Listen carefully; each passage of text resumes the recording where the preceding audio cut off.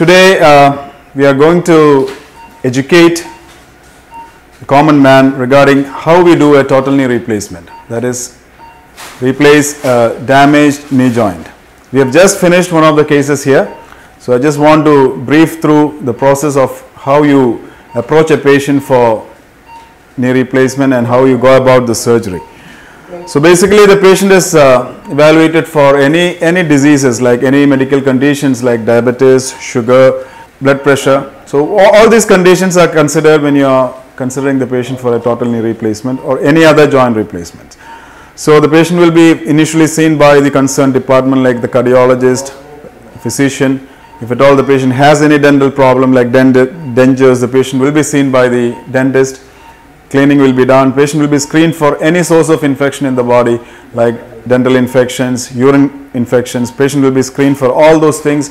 And once a patient is fit for surgery, the patient will be given a date and ad admitted at least one day prior to the surgery. So once the patient is in the theater, patient is again evaluated for all the parameters like BP, blood pressure and all the things once again and patient is induced for surgery by the anesthetic team. So once the surgery anesthesia is done, like the local anesthesia for, for like the only the limb which we are doing the surgery is being prepared for anesthesia. And the patient will be wide awake during the surgery and we can communicate with the patient during the surgery. And if at all the patient is a little apprehensive, we can make the patient a little sleep, sleepy by giving uh, sedations. So this is what the anesthetic and the before the surgery uh, what we do for the patient. So once we start off with the surgery, all the limb is prepared, under sterile precautions and it's taken up under a sterile theater with uh, different sort of airflow called the laminar airflow where we want the air to be purified uh, in a very different manner. So it's actually a different theater. It's not in the regular theater where we take the patient for a knee replacement or any other joint replacements. So once the surgery is done, we put the incision on the skin and the jo joint is opened and uh, we see that all the damaged tissues uh, are removed. The, the joints will be totally deranged in the case of a severe arthritis and this is all cleared and the joint is prepared for taking uh, the implant. Prepared means uh, the joint few uh, cuts are made in the joint, few cuts are made in the bone where you prepare the bone for taking the defined shape of the implant. So once the joint is ready for implantation, we again check all the alignments, we correct the deformity, whether the joint is in a varus deformity where it's bent inside or it's bent outside.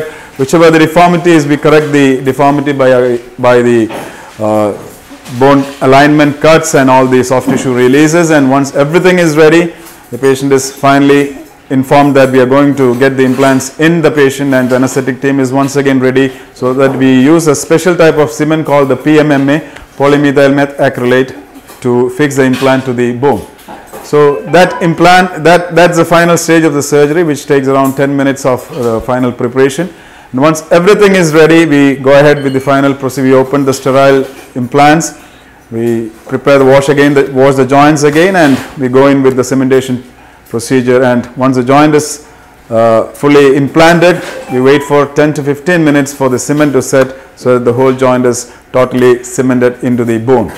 So once this is done, the joint is washed again, closed in layers and the patient is brought out of the theater. So that's how the surgery goes. And what we do after the surgery, the patient will be in the ICU, preferably in the ICU for one day to monitor all the vital parameters like BP, blood pressure. And if at all you want a, a blood transfusion to be done, you go ahead with that. And uh, usually blood transfusion is needed when you do both knees together in a single patient. So, so we monitor the patient. Once the patient is ready for transfer out from the uh, ICU, the patient is transferred to the room the next day and this patient is mobilized the next day itself with the support of a walker or any sort of uh, walking aids. So patient will be walking the next day with all, uh, all the medicines and uh, the supports and patient should feel uh, that he can walk the next day.